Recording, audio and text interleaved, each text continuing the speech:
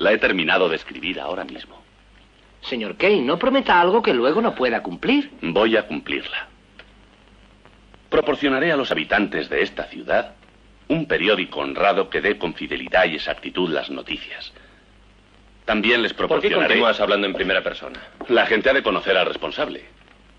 Y podrán leer las noticias en el Inquirer con toda su autenticidad, porque no permitiré que intereses de ninguna especie entorpezcan la verdad de los hechos. También les daré un defensor infatigable que luche por sus derechos de ciudadanos y de seres humanos. Firmado Charles Foster Kane. ¿Me lo dejas ver?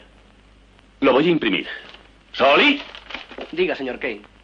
Quiero que se publique este editorial en recuadro en primera página. ¿En la primera página de hoy, señor Kane? Sí, y eso significa que tendremos que rehacerlo todo de nuevo. Sí. Será mejor que vaya ya a avisarlo. Eh, ¿Está bien? Soli, devuélvamelo luego. Me gustaría conservarlo. Si no te importa, me gustaría guardar ese trozo de papel. Tengo la impresión de que va a llegar a ser algo muy importante. Un documento. Claro. Como la Declaración de Independencia, la Constitución o como estás en el colegio.